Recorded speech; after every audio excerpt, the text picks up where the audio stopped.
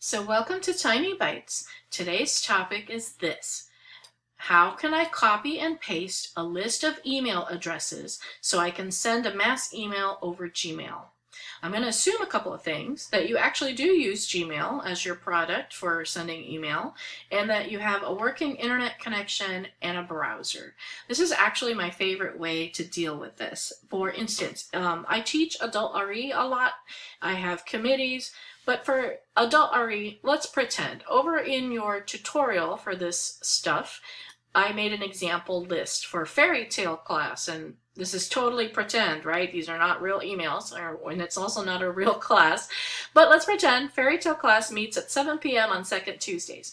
And my co-teacher and I, we maintain a student roster with a list of the emails so that we can talk to the students. And we keep it in our Google Doc, and that way both teachers can get to it. But, you know, we take turns sending the reminder, and it's my turn. What am I going to do? I'm going to go ahead and highlight all the emails, and I can either use Command-C, to do it, or I can come over here to edit and copy. You see that? So it's copied onto my clipboard. Then I'm going to go ahead and open my Gmail in my other tab. I had already started writing the reminder for fairy tale class.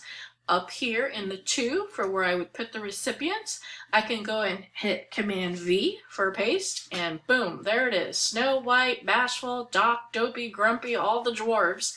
I can go ahead and tell the class what they need to bring for class or what their homework was, and then I can go ahead send. And that's it.